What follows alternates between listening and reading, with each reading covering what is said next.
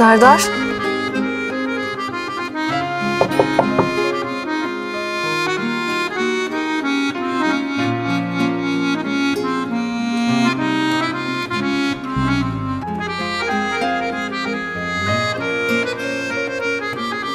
Aynı kitapları okumuşuz.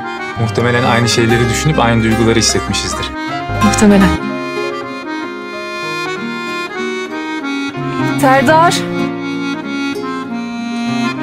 Serdar burada mısın?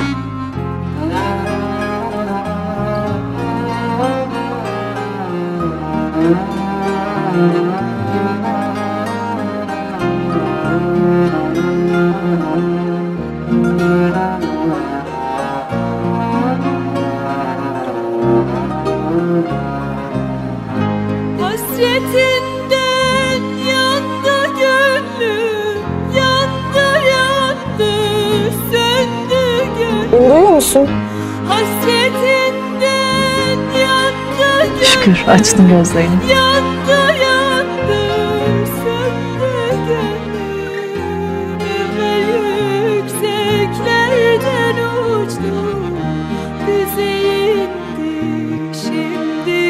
Nasılsın? Daha iyi. Siz? Ben iyiyim. Bu fidanlar sayesinde daha iyi oluyorum. Toprakla uğraşmak, ekip biçmek iyi geliyor bana. Başa geldim olmaz işler. Yokluğundan öldü gönlüm. Gözlerimde kanlı yaşlar. Hasretin bağrımda kışlar. Başa geldi olmaz işler. Yokluğundan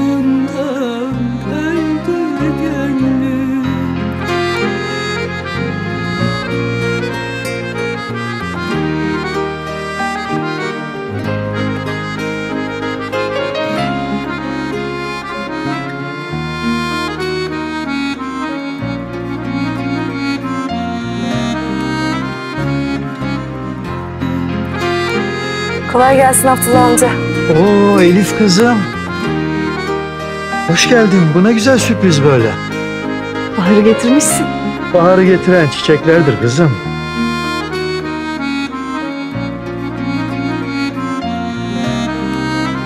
Merhaba. Merhaba. Tekrardan kusura bakmayın. Benim yüzümden böyle bir mağduriyet yaşamış oldunuz. Bu kız benden nişanlıyken bu adamın evine girip çıktı.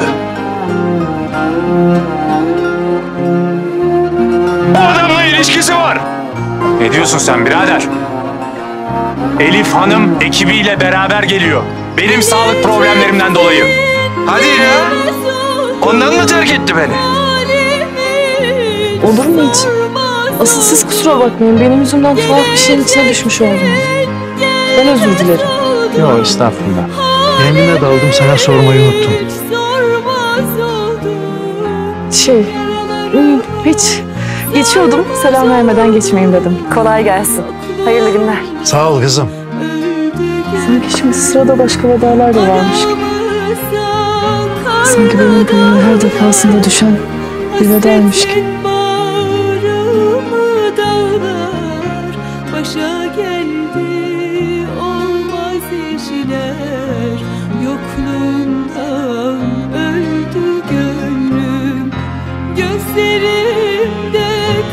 Kan Bende sana ait çok özel bir şey var da.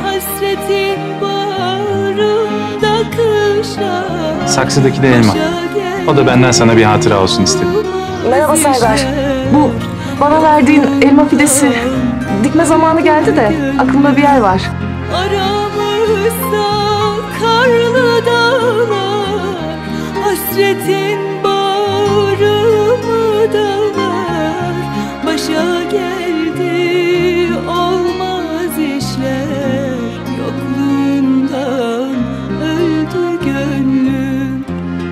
Gözlerimde kanlı yaşlar Hasretin bağrımda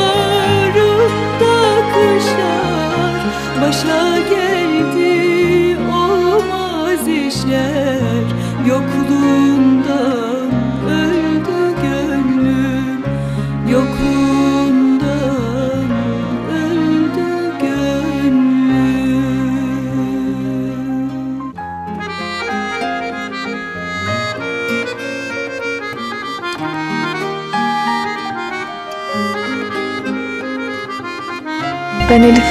Şimdi burada. Bu hiç değişmeyen pencerenin önündeyim yine. Abdullah amca. Şey, Abdullah amca ben sana Serdar'ı soracaktım. Yani ben ulaşamıyorum kendisine ve endişeleniyorum açıkçası. Her şey vaktini bekler. Dert dermanını bulur. Derman derdi iyileştirir. Sonrasını yalnızca Allah bilir. Belki beklemek büyüttü beni. Belki vedalar. Belki hepsinden daha çok bu gelme işler.